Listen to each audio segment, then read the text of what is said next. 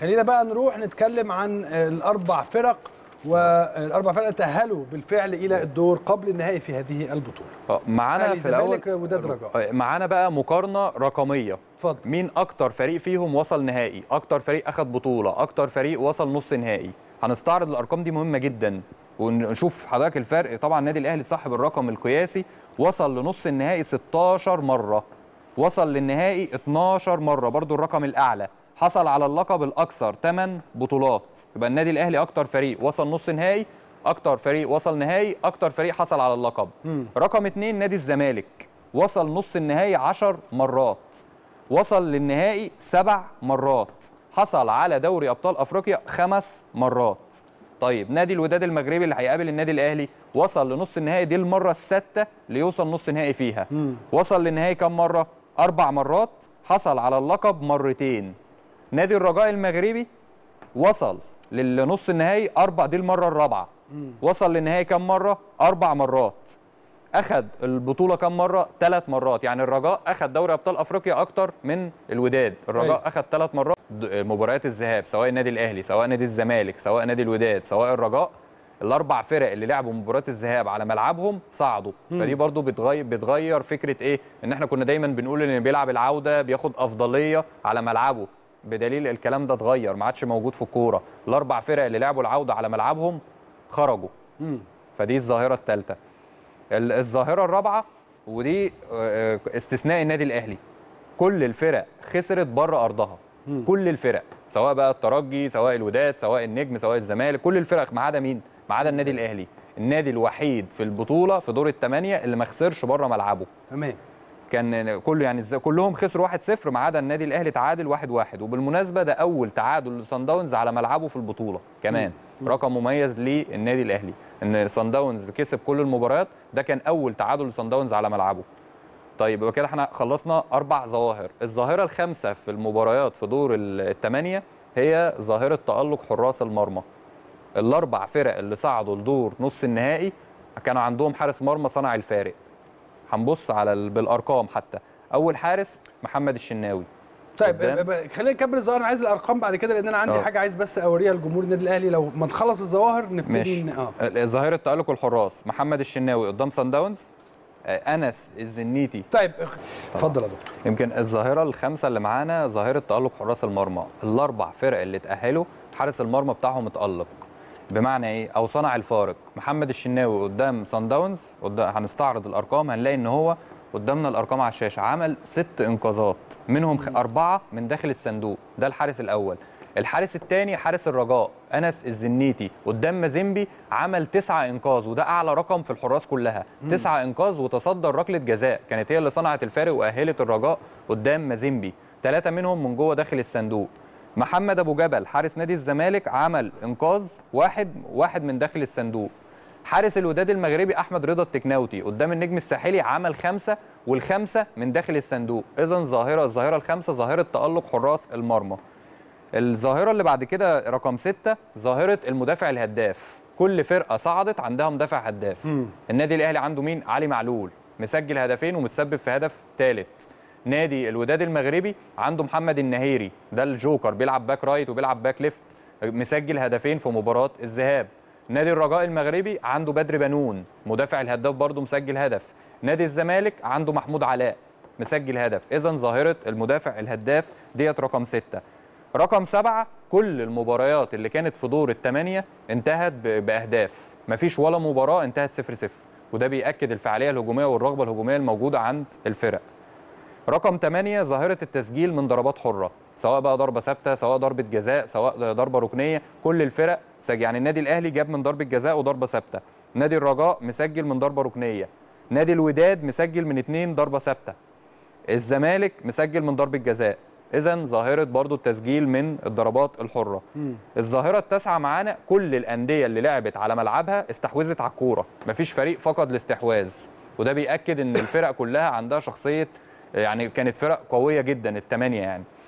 رقم 10 الظاهرة رقم 10 للمرة الثانية بيصعد الأهلي والزمالك معا في دور نص النهائي لدوري أبطال أفريقيا. المرة الأولى كانت سنة 2005 والنادي الأهلي ساعتها كسب نادي الزمالك في النص النهائي 2-1 و2-0 واخد البطولة في النهائي من النجم الساحلي. يمكن دي 10 ظواهر لدور الثمانيه اللي حصلت في دور الثمانيه تمام. خلينا بقى نروح نتكلم عن الأربع فرق والأربع فرق تأهلوا بالفعل إلى الدور قبل النهائي في هذه البطولة. آه، معانا في الأول وداد رجاء. آه، معانا بقى مقارنة رقمية. اتفضل. مين أكتر فريق فيهم وصل نهائي؟ أكتر فريق أخد بطولة؟ أكتر فريق وصل نص نهائي؟ هنستعرض الأرقام دي مهمة جدا ونشوف حضرتك الفرق. طبعا النادي الأهلي صاحب الرقم القياسي وصل لنص النهائي 16 مرة. وصل للنهائي 12 مرة برضو الرقم الأعلى. حصل على اللقب الأكثر 8 بطولات. يبقى النادي الأهلي أكتر فريق وصل نص نهائي أكتر فريق وصل نهائي أكتر فريق حصل على اللقب. مم. رقم اتنين نادي الزمالك. وصل نص النهائي 10 مرات. وصل للنهائي سبع مرات. حصل على دوري أبطال أفريقيا خمس مرات. طيب نادي الوداد المغربي اللي هيقابل النادي الأهلي وصل لنص النهائي دي المرة السادسة ليوصل نص النهائي فيها. مم. وصل للنهائي كم مرة؟ أربع مرات. حصل على اللقب مرتين. نادي الرجاء المغربي وصل للنص النهائي أربع دي المرة الرابعة. وصل للنهائي كم مرة؟ أربع مرات. اخذ البطولة كم مرة؟ ثلاث مرات. يعني الرجاء اخذ دوري أبطال أفريقيا أكتر من الوداد. الرجاء أيوة. اخذ ثلاث مرات الوداد مرتين. لكن الوصول لنص النهائي الوداد وصل أكتر من الرجاء. نص النهائي الوداد ست مرات والرجاء أربع مرات. تمام. هنستعرض ال- الأرقام بقى مقارنات ال- الفرق. يعني مين الأكتر فرق استحواذ؟ هتبين نشوف بقى حضرتك قوة النادي الأهلي في الأرقام. اتفضل. أول حاجة بالنسبة للاستحواذ على الكورة. مين مين أكتر فرقة بتستحوذ على الكورة؟ مقارنة ما بين الفرق اللي في نص النهائي بس. النادي الأهلي أكتر فرقة استحوذت على الكورة 56.3% نادي الزمالك رقم اتنين. طب ده يرجع ليه يا كابتن إسلام هنا؟ آه. للعب على استاد القاهرة. بتفرق كتير جدا طبعاً. إن بتعدي ال الأهلي 500 والزمالك. تمرير آه آه. بتعدي ال 500 تمريرة في المباراة الأهلي والزمالك ده بيأكد أهمية اللعب على استاد القاهرة مم. عكس بقى أقل فرقة الرجاء 45 و4 دليل إن أسلوب لعب الرجاء بيسيب لك الاستحواذ. الوداد 51 و4 تمام. طيب الأكثر تمرير برضه هنلاقي نفس الأرقام النادي الأهلي رقم واحد رقم اثنين الزمالك رقم ثلاثة الوداد رقم أربعة الرجاء. فإذا النادي الأهلي هو الأكثر فريق بيلعب على الاستحواذ في البطولة طيب الأكثر تسجيلا للأهداف منذ بداية دور المجموعات مين أقوى فرقة على مستوى الهجوم؟ الوداد المغربي. أقوى فرقة مسجلة من بداية دور المجموعات مسجلة 12 هدف. يليها النادي الأهلي رقم 2 10 أهداف. الرجاء والزمالك 8 و8 اذا هتبقى مواجهة قوية جدا على المستوى الهجومي ما بين النادي الأهلي ونادي الوداد المغربي. الرجاء والزمالك 8 و8 طيب مين الأقوى دفاع؟ أقوى خط دفاع الاقل استقبال للاهداف من بداية دور المجموعات النادي الأهلي. خمس أهداف. متساوي مع الرجاء المغربي خمس أهداف. هنلاحظ في الأرقام بالنسبة للمغاربة الوداد أقوى على المستوى الهجوم الرجاء أقوى على المستوى الدفاع. مم. أما النادي الأهلي متفوق في كل الأرقام غالبا. يعني في كل الأرقام هنلاقي النادي الأهلي هو رقم واحد. آه. يعني النادي الأهلي أقوى خط دفاع أهو خمسة. آه، استقبل شباكه خمس أهداف بس الرجاء خمسة. الود... الزمالك ستة. الوداد مستقبل سبع أهداف. أيوة. اذا الوداد يعتبر الأقل دفاعيا. الأقوى هجوميا والأقل دفاعيا. الرجاء هو الإيه؟ يعتبر الأقوى دفاعيا مع النادي الأهلي والنادي الأهلي تاني أقوى خط هجوم منذ بداية دور المجموعات. طيب مين الأكثر حفاظا على نظافة الشباك؟ دي تاكيدا برضو إن الرجاء عندها حارس مميز أنس الزنيتي. عنده خمسة clean sheet الأعلى clean sheet من بداية دور المجموعات. وده بيأكد برضو قوة الرجاء الرجاء قوته في دفاعه في المنظومة الدفاعية اللي بيعملها. بيسيب لك الاستحواذ وبيحاول يضربك بضربة ركنية أو ضربة ثابتة. ده أسلوب لعب جمال السلامي مدرب الرجاء المغربي. طيب مين أكتر فرقة بتصنع فرص؟ برضو النادي الأهلي رقم واحد. صنعت 17 فرصة. ده برضو بيأكد القوة الهجومية في النادي الأهلي. مين رقم اتنين؟ الوداد المغربي تس- 15 فرصة. الزمالك 11 فرصة محققة الرجاء أقل فرقة هجوميا 6 فرص فقط محققة. فده طبعا مقارنة بتأكد إن مباراة الأهلي والوداد هتبقى قوية جدا على المستوى الهجومي والزمالك والرجاء الناحية التانية الرجاء أقل على المستوى الهجوم بالأرقام. الأكثر معدل محاولات على المرمى منذ بداية دوري المجموعات. ال- النادي الأهلي هو رقم واحد برضه 11 وواحد. نادي الوداد 9 و6 نادي الزمالك رقم 3 8 و1 نادي الرجاء 7 و8 كل الأرقام دي بتأكد إيه؟ سواء صناعة الفرص أو المحاولات إن النادي الأهلي والوداد أقوياء جدا على المستوى الهجومي. الزمالك والرجاء على المستوى الهجومي بيروحوش كتير على الجون فهتبقى غالبا مواجهة دفاعية يعني. تمام. الأكثر اهدارا لفرص محققة؟ النادي الأهلي طبعا رقم واحد أكتر فريق أهدر فرص 10 فرص محققة. نادي الوداد رقم اثنين حتى في الإهدار الفرص النادي الأهلي رقم واحد. نادي الوداد رقم اثنين 8 نادي الزمالك رقم ثلاثة نادي الرجاء رقم أربعة خمس فرص طبعا لأن النادي الأهلي بيوصل كتير للجون فطبيعي إن هو هيبقى مضيع أكتر فرص يعني. كل الكلام اللي إحنا بنتكلم فيه ده من بداية دوري المجموعات. من بداية من أول مباراة في دور المجموعات لغاية نص النهائي. لغاية نص النهائي. الأكثر تمريرا شكل الأكثر طولي. آه تمريرات طولية. هنلاقي إيه هنا؟ ده الأهلي طبعا عشان هو بيلعب على الاستحواذ رقم واحد 28 و4 لكن الرقم المهم قوي بتاع الرجاء الرجاء جاي رقم اثنين ده بيأكد إيه؟ أسلوب اللعب المباشر اللي بيلعبوا بيه. إن هم بي- بيلع- بيلعبوا في وسط ملعبهم. وبيسيبوا لك الاستحواذ وبيلعبوا تمريرات طولية على المهاجم بتاعهم بين مالوجو. الوداد المغربي طبعا ما بيعملش تمريرات طولية كتير لأن هو بيعتمد على الأطراف أكتر. طيب مين أحرف فرقة؟ بالنسبة للمراوغات. أكتر فرقة عندها مراوغات ناجحة الوداد المغربي. لأنها بتمتلك إسماعيل الحداد صاحب آه. أعلى معدل مراوغات ناجحة في البطولة. الوداد المغربي 7 و6 من عشرة مراوغة ناجحة في الماتش الواحد. النادي الأهلي 6 و9 من عشرة في الماتش الواحد. الزمالك 6 ونص. الرجاء أقل فرقة بتعمل مراوغات 3 و1 طيب مين أكتر فرقة برضو ده رقم مهم قوي أكتر فرقة بترتكب أخطاء؟ هنلاقي إن المغاربة هم اللي فرقتين المغاربة سواء الوداد أو الرجاء هم اللي بيرتكبوا أخطاء كتير. ده أسلوب لعبهم. بيرتكبوا أخطاء كتير بيزهقوك من الماتش. ده ده أسلوب لعبهم. بدليل الأرقام يعني الوداد 20 و9 الرجاء 19 بيعملوا 20 فاول في الماتش. والرجاء 19 فاول في الماتش كتير. الأهلي طبعا 16 الزمالك 13 طيب أكتر لاعب بيمتلك معدل محاولات على المرمى من بداية دور المجموعات في الفرق. بالنسبة للنادي الأهلي محمد مجدي قفشة. مت- عنده متوسط 2.8 من عشرة محاولة في الماتش الواحد. بالنسبة لنادي الرجاء بن مالوجو اللي هو المهاجم 2.4 من عشرة. بالنسبة لنادي الوداد بديع أوكو. ده نحط عليه دايرة لأن هو لعيب مفاجأة. ب- بقاله سنتين مع الوداد المغربي 2.3 من عشرة. بيروح على الجون كتير وهنلاقيه في أرقام مميزة جدا لبديع أوكو اللي هو الجناح الثاني مع إسماعيل الحداد. أما نادي الزمالك مصطفى محمد 1.9 من عشرة. طيب.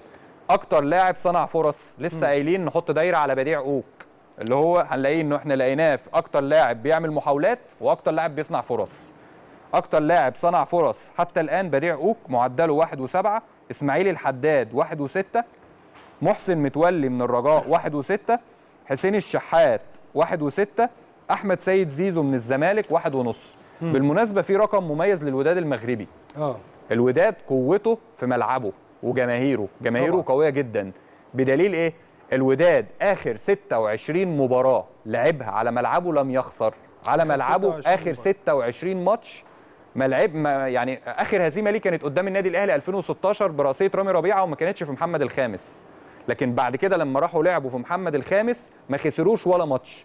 طب كمان إيه؟ آخر 56 مباراة. آخر 56 الوداد مباراة لعبها على ملعبه ما خسرش غير ماتشين بس. في 56 في 56 ماتش. ماتش منهم من الأهلي وماتش من فريق جابوني. 1-0 طيب.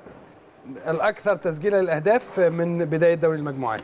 في نادي الزمالك طبعا أشرف بن شرقي آه، مصطفى محمد. أشرف بن شرقي أربع أهداف مصطفى محمد هدفين. نادي الوداد أيوب الكعبي دمشق محمد النهيري اللي هو المدافع وبديع أوك اللي إحنا بنتكلم عليه. نادي الرجاء بدر بنون المدافع وبين مالوجو وسفيان رحيمي. النادي الأهلي علي معلول ووليد سليمان هدفين. الأكثر صناعة للاهداف منذ بداية دوري المجموعات. مصطفى محمد في الزمالك اثنين assist وسفيان رحيمي في الرجاء اثنين assist. أكثر لاعب يمتلك معدل مراوغات ناجحة منذ البداية. أكتر المجموعات برضه. أحرف لاعب في البطولة حتى الآن إسماعيل الحداد ثلاثة ونص مراوغة ناجحة في المباراة. فرق آه. آه. كبير عن التاني واحد فرجاني ساسي وبن شرقي واحد وتسعة. إحنا عندنا جونيور أجاي واحد ونص. فمن الواضح كده إن إسماعيل الحداد ميزته في المراوغات الناجحة والحل الفردي. تمام. أكثر حارس مرمى حافظ على نظافة شباكه. أحسن حارس في ال- بالأرقام حتى الآن يعني بال- بال- بال clean sheet أنس الزنيتي حارس الرجاء المغربي عامل خمسة clean sheet. محمد الشناوي ثلاثة clean sheet من بداية دور المجموعات. أحمد رضا التكناوتي اثنين clean sheet.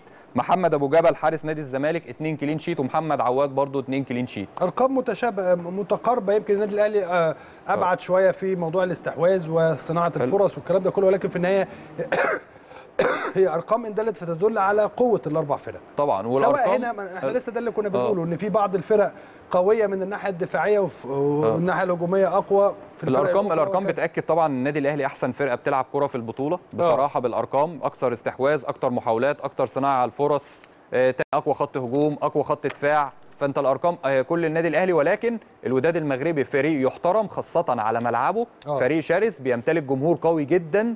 بإذن الله أهم حاجة إن أنت تسجل في ملعب الوداد هتقدر تصعد لو سجلت في ملعب الوداد.